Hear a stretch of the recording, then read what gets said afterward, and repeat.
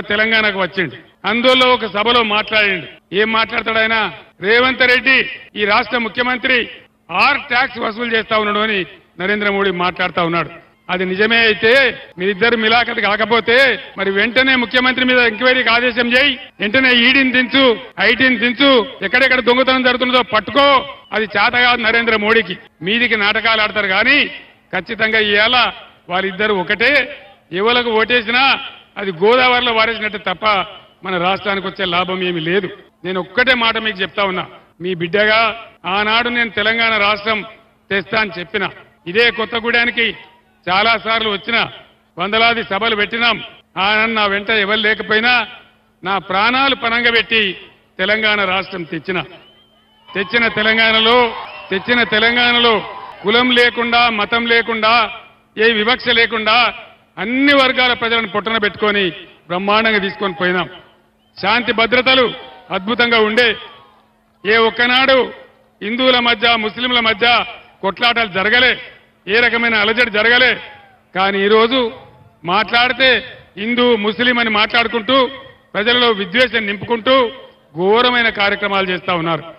అందుకే నేను మిమ్మల్ని అందరినీ ప్రార్థించేది దయచేసి ముఖ్యంగా యువకులు విద్యావంతులు మేధావులు నా మాటను మీరు చర్చ చేయండి నేను చెప్పేది నిజమా కాదా ఈ రాష్ట్రంలో ఏం జరుగుతా ఉంది ఈ రాష్ట్రాన్ని ఎవరు కాపాడాలి ఒకసారి ఆలోచించాలని కోరుతా ఉన్నా तेलंगाना रियासत में जितने भी हमारे मुसलमान बुजुर्ग है और मुसलमान भाई बहनों को मैं सलाम करता हूं आपसे अदबन गुजारिश करता हूं आज के दिन में कांग्रेस बीजेपी दोनों एक है बीजेपी को हराने बीआरएस को हराने के लिए वो दोनों मिलकर काम कर रहे हैं। ये आप जानते हैं? वो दोनों कैसे पार्टियाँ हैं, कैसे हैं आप जानते हैं? जिस टाइम में मैं तेलंगाना के लिए जद्दोजहद कर रहा था, उस टाइम में भी मैं कोत्तागुड़े में आया था। उन दिनों में कहा था, अल्लाह के घर में देर है, लेकिन अंधेर नहीं है। और अल्लाह का करम हुआ, तेलंगाना रियासत हासिल हुआ। इसमें सभी लोगों को, मुसलमानों को, क्रिश्चियनों को, हिंदुओं को, हमारे दलितों को, गिरिजनों को, सबको मैं एक साथ लेके चला। सबके साथ मैंने इंसाफ किया। ये आप जानते हैं, आज इस देश में क्या हो रहा है? इस देश को हर हालत में बचाना है। हर हालत में ये किसी का देश नहीं है। देश में कितने लोग रहते हैं, सारे लोगों का ये हिंदुस्तान है। हम इसको जानते हैं।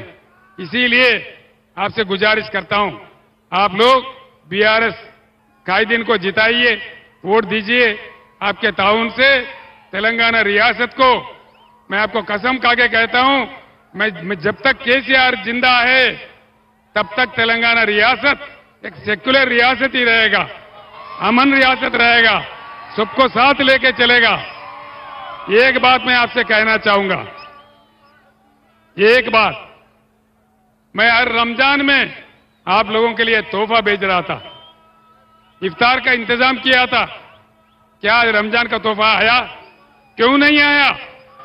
क्या क्या इनका क- कमाल है समझ जाइए देख लीजिए इसीलिए मैं फिर एक बार गुजारिश करता हूं कि आप लोगों का वोट बीआरएस पार्टी को देके दोनों अब कैंडिडेट को जिताइए या कविता हो या रामा नागेश्वर राव जी हो वो अच्छे लोग हैं तेलंगाना के लड़े से लोग हैं इसलिए आप लोग जिताइए इतना कहते हुए मैं आपसे रुखसत होता हूं సోదరులారా మీరందరూ కూడా అనేక ప్రాంతాల నుంచి ఇటు ఖమ్మం కావచ్చు అటు మహిబాద్ కావచ్చు మీరిద్దరు వచ్చారు.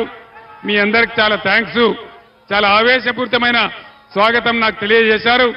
ఖచ్చితంగా ఈ చారిత్రక సందర్భంలో బీఆర్ఎస్ ఎంపీలు గెలిస్తేనే తెలంగాణ నదుల నీళ్ళు తెలంగాణకు దక్కుతాయి.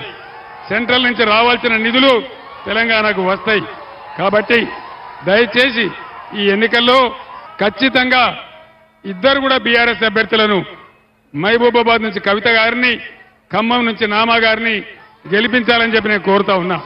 నేను ఇందాక ఖమ్మం నుంచి కొత్తగూడెం వస్తా ఉంటే కార్లలో పోయేవాళ్ళు ట్రాక్టర్లో పోయేవాళ్ళు జీబులో పోయేవాళ్ళు ఆటోలో పోయేవాళ్ళు అందరూ కూడా ఇట్లా చూపెడతా ఉన్నారు. జై కేసీఆర్ అని చెప్పి. కాబట్టి మీ అందరికీ కూడా నేను ప్రార్థిస్తా ఉన్నా. అయిపోయింది కాంగ్రెస్ కథ అయిపోయింది బీజేపీ కథ కూడా అయిపోయింది.